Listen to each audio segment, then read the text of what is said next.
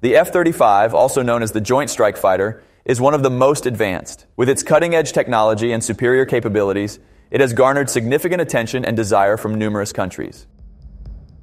The F 35 represents a new era in aviation, combining stealth, agility, and advanced systems to create a multi role fighter that meets the requirements of various nations.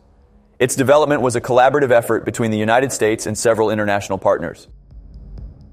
Additionally, by buying the American fighter, countries can increase their industrial links to the U.S. since their domestic industries often manufacture some of their jets' components. For many European countries, however, choosing the F 35 is as much a geopolitical decision as it is an operational and financial one, especially given Russian activity in recent years. The international partnerships involved in the F 35 program have created opportunities for countries to participate in the development, production, and sustainment of aircraft.